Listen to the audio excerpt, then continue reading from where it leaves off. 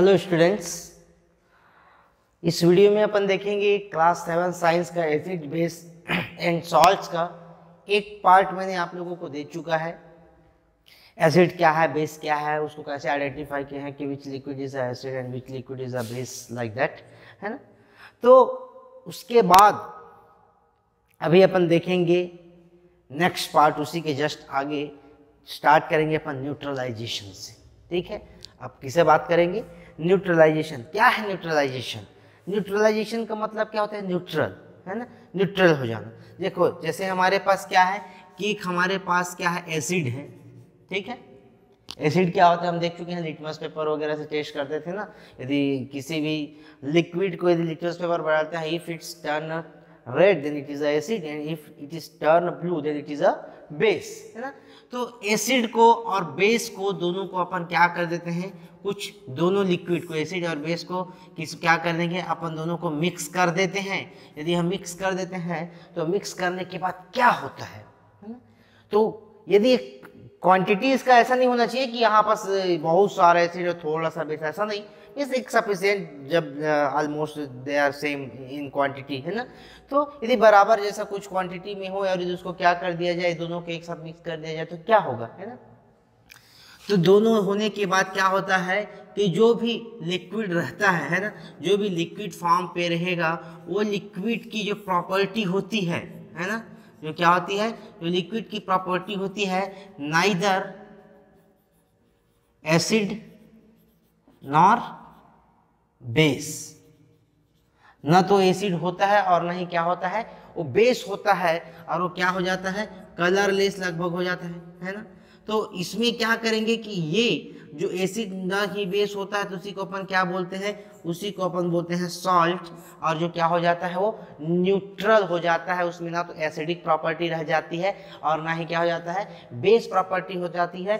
तो यही एसिड और बेस को क्या करने से एसिड और बेस को एक साथ मिक्स करने से जो भी आ, अपने पास लिक्विड बचते हैं उस लिक्विड की जो प्रॉपर्टी होती है दैट इज़ अ सॉल्ट इस प्रोसेस को अपन क्या बोलते हैं? न्यूट्रलाइजेशन न्यूट्रलाइजेशन बिकॉज़ ये ना तो एसिड रह जाता है और नहीं तो क्या रह जाता है? बेस रह जाता है और उसके मिक्सचर को अपन क्या बोलते हैं? सॉल्ट बोलते हैं। जब यहाँ पर दोनों को ऐड करने से हमको जो मिल रहा है सॉल्ट मिल रहा है उसमें एसिड एसिडिक प्रॉपर्टी नहीं होता। इसका मतलब क्या है? कि यदि जैसे कि एसिड है तो उसको हम एसिड को क्या कर सकते हैं? प्रॉपर उसको एसिडिक प्रॉपर्टी को हटा सकते हैं तो क्या करना पड़ेगा? बेस डालना पड़ेगा। और यदि बेस है तो बेसिक प्रॉपर्टी को हटाना है तो उसमें हमको क्या करना पड़ेगा? एसिड डालना पड़ेगा एक सफिशियंट क्वांटिटी पे, जिससे वहाँ पास ना तो एसिडिक रह जाता है, ना बेस ये इसका यूजेस जो है हमारे डेली लाइफ में बहुत होता है। ठीक है? ये इसका जो यूज़ क्या होता है? हमारे डेली लाइफ में बहुत ज़्यादा होता है। जैसे कि इसका जो प्रॉपर्टी यदि मैं बताऊँ, जैसे कि एसिड है है ना? ये क्या है? एसिड है और ये क्या है? बेस तो इसमें मैं क्या कर देता हूँ? एच देखो, यहाँ पर क्या एच ये क्या है? हाइड्रोक्लोरिक एसिड हाइड्रोक्लोरिक एसिड और इसके साथ मैं मिला देता हूँ N O H sodium hydroxide है ना? ये क्या हो जाएगा ये? सोडियम हाइड्रोक्साइड इसको बोलते हैं सोडियम हाइड्रोक्साइड। जब दोनों को मिलाते हैं तो क्या बनता है यहाँ पर? यहाँ से बनता है sodium chloride N A C L है ना? तो एन ए और सी एल मिल बना लेते हैं एन ए सी एल और यहाँ पास क्या बन जाता है? एच टू ओ है ना? और वाटर एच एच दो बार है एच टू ओ तो एन ए सी एल मतलब क्या बन गया? Sodium sodium chloride. ये बन गया सोडियम क्लोराइड क्या है यहाँ पर? से साल्ट यहाँ से अपन बन जाता है नमक। ये ये क्या है आपका? एसिड है ना? ये आपका क्या है? ये एसिड है और ये क्या है? बेस ये यहाँ पास क्या है? केमिकल है। एसिड का केमिकल है बेस का केमिकल इसको बोलते हैं एच मतलब हाइड्रोक्लोरिक एसिड हाइड्रोजन और क्लोरिक से बनकर क्या मिला रहता है? एसिड जो कि क्या है? हाइड्रोक्लोरिक एसिड और एन ए मतलब होता है सोडियम और ओ ए, वो तो ऑक्सीजन है आपका क्या हाइड्रोजन है? तो एन एच मिलाकर बनाते हैं सोडियम हाइड्रोक्साइड तो ये बेस है तो ये एसिड और बेस मिलाकर बनाते हैं एन जिसको अपन क्या बोलते हैं सॉल्ट बोलते हैं, और एक एच टू ओ मतलब यहाँ पर क्या करते हैं? वाटर बनाते हैं। तो इस प्रोसेस पे दो चीज़ हो सकते हैं। या तो यहाँ पर क्या है कि जब एसिड और बेस को मिलाया तो न्यूट्रलाइज हो गया मतलब क्या है कि ना तो क्या है एसिड है, ना तो बेसिक प्रॉपर्टी है, दोनों ही प्रॉपर्टी ना का तीसरा प्रॉपर्टी को देता है। तो यहाँ पर क्या है कि दो चीज़ें हो सकती है आइदर एनर्जी इसका मतलब यहाँ पर हिट इवॉल्व होगा, या तो फिर क्या हो जाएगा? डेवलप होगा। इवॉल्व होना और डेवलप होने का मतलब यह है कि जैसे कि यहाँ पर आपका एक लिक्विड टेम्परेचर उसका हाई है, उसमें आपने क्या है, जैसे यहाँ पास एसिड है एसिड मानकर चलो गर्म है, उसमें बेस मिला दिया। तो बेस मिलाने से क्या हो गया? हो सकता है कि वो ठंडा हो जाए, है ना? तो ठंडा हो गया, इसका मतलब क्या है? ठंडा होने से मतलब क्या है कि वो टेम्परेचर को ऑब्जॉर्ब किया है। टेम्परेचर को क्या किया है? वहाँ पर अब जो भी टेम्परेचर है, वो ठंडा हो गया। मतलब क्या? कि वहाँ पर टेम्परेचर को ऑब्जॉर्ब किया गया, वहाँ से टेम्परेचर कहाँ चला गया? तो उसको क्या कर लिया गया? ऑब्जॉर्ब कर लिया गया है इवॉल्व कर लिया गया है। या तो फिर क्या होगा कि डेवलप होगा। डेवलप होने का मतलब क्या कि जैसे कि ठंडा है, चलो बेस ठंडा है और उसमें मैंने एसिड डाल दिया तो गर्म हो जाएगा। तो गर्म होने से क्या हीट क्या हुआ? हीट जो है, क्या हुआ? इंड्यूस हुआ। हीट क्या हुआ? इंड्यूस हुआ। तो इस प्रोसेस में एसिड और बेस को मिलाने से क्या हो सकता है? या तो फिर हीट इवॉल्व होता है या इंड्यूस होता है या तो उसमें अब्जॉर्ब होता है या तो फिर निकलता है। ये प्रोसेस को आप ध्यान रखिएगा कि इसमें केमिकल इसी को अपन बोलते हैं केमिकल रिएक्शन इसमें, इसको अपन क्या बोलते हैं? केमिकल रिएक्शन और इसका यूजेस हम डेली लाइफ में करते हैं। पहला तो ये कि सोडियम क्लोराइड बनाने के लिए क्या इसका मतलब क्या? कि नमक बनाने के लिए सॉल्ट बनाने के लिए करते हैं। पहला। और उसके बाद डेली लाइफ में और क्या यूज़ करते हैं? उसका क्या मेडिकल में क्या यूज़ होता है? कैसा? उसको अपन देखते हैं। तो ये न्यूट्रलाइजेशन हमने पढ़ा न्यूट्रलाइजेशन इन एवरीडे लाइफ में देखेंगे कि इनडाइजेशन है ना? इनडाइजेशन तो इनडाइजेशन में क्या होता है कि हमारे स्टोमक में, हमारे पेट में, है ना? हमारे स्टमक में क्या होता है कि हम जो भी चीज़ खाते हैं, है ना? जो भी चीज़ हम खाते हैं, उसको खाना को पचाने के लिए डाइजेस्ट करने के लिए, है ना? उस खाना को डाइजेस्ट करने के लिए क्या होता है? एसिड की ज़रूरत पड़ती है और हमारे स्टोमक में डिफरेंट डिफरेंट टाइप्स के वहाँ पास क्या होता है? एसिड का वहाँ पास रहता है। एसिड होता है हमारे स्टमक में, जिससे क्या होता है? हमारा कोई भी फ़ूड जो कि हम खाते हैं, उसका डाइजेशन होता है, उसका पचाने में हेल्प करता है। कौन? एसिड है ना?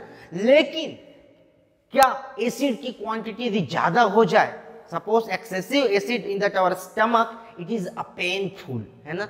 हमारे पेट में किसी तरह से यदि एसिड ज़्यादा हो जाता है, इसका मतलब क्या हो जाएगा? वो हमारे लिए पेनफुल हो जाएगा। पेनफुल हो जाएगा मतलब दर्द करना शुरू कर देता है। वो दर्द होता है एसिड ज़्यादा होने के कारण। तो एसिड ज़्यादा होने के कारण वहाँ पर क्या होता है? पेन होता है हमारे स्टमक में। उसको ही क्या करते हैं हम? एंटासिड, है ना? एंटा, एंटासिड मतलब क्या? एंटासिड मतलब एसिड को अपोज करने वाला मतलब एसिड को कम करने वाला एंटासिड का टेबलेट लेते हैं, एंटासिड दवाइयाँ लेते हैं, जिससे हमारा पेट का दर्द क्या हो जाता है? कम हो जाता है, जो कि एसिड के एक्सेस के कारण, ज़्यादा के कारण हुआ था। ठीक है? तो ये था पहला, क्या? इंडाइजेशन में। और उसके बाद देखेंगे कि जनरली हमारे में क्या होता है कि एच है ना? यह हाइड्रोक्लोरिक एसिड होता है हमारे स्टमक में। दूसरा देखेंगे कि आंट स्ट्रिंग है ना? जो चीटियाँ होती है है ना? तो उस चीटी उस चीटी की स्ट्रिंग यहाँ पर देखेंगे जैसे हमको काटता है ना? चीटी काटता है तो देखना हमको जलन सा होता है है ना? हमको जलन सा फील होता है, थोड़ा सा पेन होता है। उसका रीज़न ये होता है कि आंट स्ट्रिंग पर एसिड होता है, जिसको अपन क्या बोलते हैं? फार्मिक एसिड क्या बोलते हैं? Formic acid. तो इस फार्मिक एसिड का क्या करता है? जैसे ही हमको क्या करता है? काटता इंजेक्ट करता है। तो क्या करता है? ऑन क्या करता है? जैसे ही काटता है तो उस काटने के कारण, उस इंजेक्ट के कारण क्या होता है? जो फॉर्मिक एसिड जो है, हमारे अंदर, हमारे बॉडी के अंदर क्या हो जाता है? चला जाता है। अब बॉडी के अंदर चले जाने से वहाँ पास क्या है? एसिड एक्सेस होने के कारण वहाँ पास क्या होता है? हमको पेन होता है, हमको दर्द होता है ना?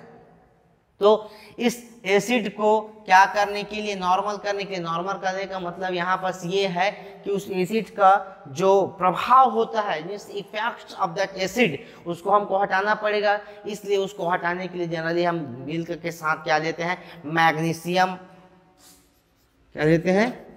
मैग्नीशियम हाइड्रोक्साइड है ना? मैग्नीशियम हाइड्रोक्साइड के साथ हम क्या करते हैं? उसको दवाई में लेते हैं, जिससे वहाँ पर क्या हो जाता है? या फिर क्या इसको मैग्नीशियम हाइड्रोक्साइड जो भी है उसके लिए अपन क्या करेंगे कि जहाँ पर होता है, हम बेकिंग सोडा है ना? जो बेकिंग मॉइस्ट बेकिंग सोडा है ना? मॉइस्ट बेकिंग सोडा को क्या कर लेते हैं? वहाँ पर थोड़ा सा लगा लेते हैं जिससे उसका इफ़ेक्ट को क्या कर देता है कम। तो इसका मतलब यहाँ पर यह है कि एसिड को बेस के साथ मिलाने से उसका न्यूट्रलाइजेशन होता है। न्यूट्रलाइजेशन मतलब यहाँ पर एसिड का इफ़ेक्ट खत्म हो जाता है, जिससे हमको जो इफ़ेक्ट पड़ना था वो नहीं पड़ता है। बस यही है न्यूट्रलाइजेशन का प्रोसेस जिसके कारण वो फार्मिक एसिड यहाँ पर क्या हो जाता है? चला जाता है। ठीक है? नेक्स्ट आते हैं अपन सॉइल ट्रीटमेंट सॉइल ट्रीटमेंट में क्या होता है कि फ़सल हमारा जो ग्रो करते हैं, जो भी अपन फ़सल उगाते हैं तो उसमें क्या होता है, बार बार बार बार यूज़ करने के कारण क्या हो जाता है कि वहाँ पर स्लैंक लाइन बन जाता है, या फिर सी ओ सी ओ थ्री यहाँ पर क्या है कि वहाँ पर स्लैंक लाइन मिट्टी बन जाता है। मतलब जो हमारा सॉइल जो है स्लैंक लाइन जैसा हो जाता है, उसमें एसिडिक ज़्यादा हो जाता है या फिर बेसिक ज़्यादा हो जाता है, या तो फिर एसिडिक ज़्यादा हो जाता है, या तो फिर बेसिक ज़्यादा हो जाता है, जिसके कारण से क्या करता है, हमारा जो सॉइल है, ज़्यादा ग्रो करना बंद कर देता है, ज़्यादा उसमें फ़सल की उगाई नहीं होता है। तो उसमें क्या हो जाता है डिक्रीज होता है ग्रो अप में तो उसके कारण हमको क्या करना पड़ता है, इसलिए हमको ऑर्गेनिज्म किसका ज़रूरत पड़ता है ऑर्गेनिज्म और एसिडिक या बेसिक ज़्यादा क्यों होता है? एसिडिक और बेसिक ज़्यादा होने का रीज़न यहाँ पर ये है कि वहाँ पर हमारे एक्सेस यूज़ ऑफ़ फर्टिलाइजर्स है ना? Fertilisers excess use of fertilisers due to the excess use of fertilisers क्या हो जाता है? उसके एसिडिक प्रॉपर्टी या बेसिक प्रॉपर्टी ज़्यादा हो जाता है। इसलिए वहाँ पास ऑर्गेनिज्म के यूज़ करते हैं ऑर्गेनिज्म यूज़ करके उसको क्या करते हैं? न्यूट्रलाइज करते हैं और उस न्यूट्रलाइजेशन के कारण ही फिर वहाँ पर फिर से ग्रो करना शुरू कर देता है, जिसके लिए अपन कंपोस्ट जो खाद वगैरह अपन जो यूज़ करते हैं, या फिर कल्टीवेट करते हैं। Cultivate it means that cultivation इससे हमको क्या होता है कि cultivate cultivate means we start to grow up a different different the way है ना? अलग अलग जो भी प्रोसेस अपन यूज़ करते हैं, जिसके कारण से अपना कंप्लीट होता है। ठीक? Then the next one is a factory waste how it is effect the non factory factory we know that in a different different factory they are wasted and the some wastage is having a acid है ना acidic property and it is having a acidic property and due to that acidic properties ये जो waste हमारे यहाँ पास कहा जाएंगे समुद्र में और नदी में जाएंगे due to that only the fish and another organism can die so acidic property की क्या कर सकते हैं? फ़ीस को वगैरह को मार सकते हैं, इसलिए क्या किया जाता है? उसको न्यूट्रलाइज करना होता है, इसको हमको न्यूट्रलाइज करना चाहिए। Then after only we can take that factory waste okay thank you very much